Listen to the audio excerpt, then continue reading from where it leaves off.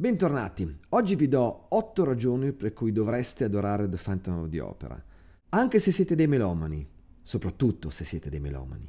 Prima di cominciare un disclaimer molto importante, parliamo del musical teatrale e non del film del 2004, che ancorché sia un'ottima produzione hollywoodiana con un grande budget e tutto quello che volete, musicalmente è terribile. Prima ragione, è un capolavoro, insieme alle Miserable è probabilmente il miglior musical mai scritto e quindi già solo questo dovrebbe solleticarvi la curiosità di andarlo a vedere. Seconda ragione, insieme alle Miserable è il musical più visto della storia, oltre 140 milioni di spettatori in tutto il mondo, oltre 14.000 repliche solo a Londra dal 1986 al 2023 se fate due conti capite che sono nove repliche alla settimana, sempre sold out. È a tutti gli effetti un pezzo di storia del teatro, quindi anche solo per questa ragione dovreste vederlo. Terza ragione, dal punto di vista visivo è veramente spettacolare, veramente uno spettacolo da vedere. Luci, scene, costumi, effetti e tutto l'insieme di questo spettacolo lo rende un'esperienza visiva veramente imperdibile. Quarta ragione, ci sono tutte le dinamiche dell'opera. Ci sono i sentimenti forti, i contrasti, gli amori non ricambiati, la morte ovviamente. Quindi se vi piace un'opera, vi piacerà The Phantom di Opera. Quinta ragione, Andrew Lloyd Webber è a tutti gli effetti il Giuseppe Verdi del XX secolo. Pensate solo a Jesus Christ Superstar, il musical probabilmente più importante della storia di questo genere. Che cosa è stato, che cosa ha rappresentato e che cosa è ancora oggi dopo tanti anni dalla sua uscita. E poi pensate a Evita, a Cats, a Sunset Boulevard, a School of Rock. Quindi per successo, per fama e per numero di capolavori, Lloyd Webber è assolutamente sovrapponibile a Verdi nel suo secolo.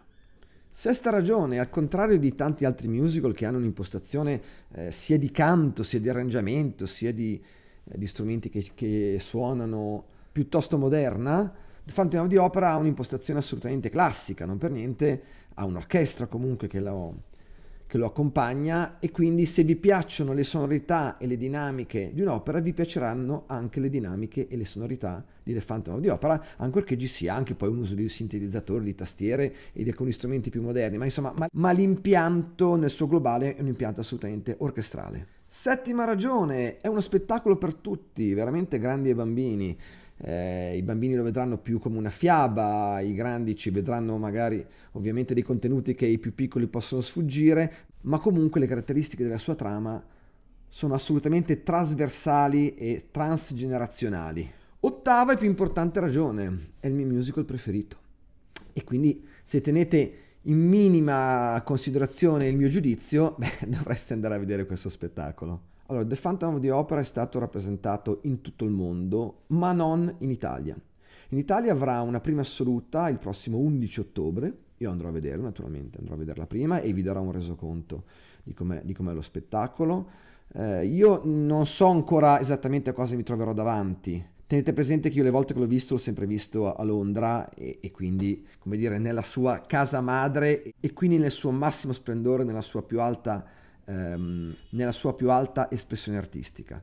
Eh, sono molto curioso di vedere questo allestimento che è stato fatto agli Arciboldi, eh, che sarà in inglese, che dovrebbe ricalcare abbastanza la regia tradizionale, anche se ho sentito dire comunque ci saranno ovviamente le differenze per non farla esattamente identica.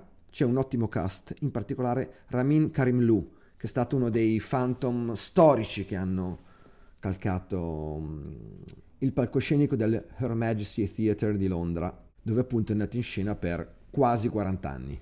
Per cui restate sintonizzati, vi farò un reportage eh, della prima, Premetto che non ho alcun rapporto con eh, il teatro degli Arcimboldi, il biglietto di poltronisti me lo sono pagato io e questo può garantirvi che la mia disamine, la mia, chiamiamola recensione, sarà assolutamente obiettiva e spietata su tutti gli aspetti dello spettacolo. E quindi le luci, i costumi, le scene, il canto naturalmente, la performance dell'orchestra e la regia e, e tutto quello che dovrebbe rendere questo spettacolo lo spettacolo che è. Quindi restate sintonizzati e se riuscite cercate un biglietto per una di queste performance che verranno fatte al Teatro degli Arcimboldi. Io l'ho comprato veramente tanti mesi fa, non so ancora se ce ne sono in vendita, ma provateci. Ci vediamo al prossimo aggiornamento e lunga vita a The Phantom of the Opera.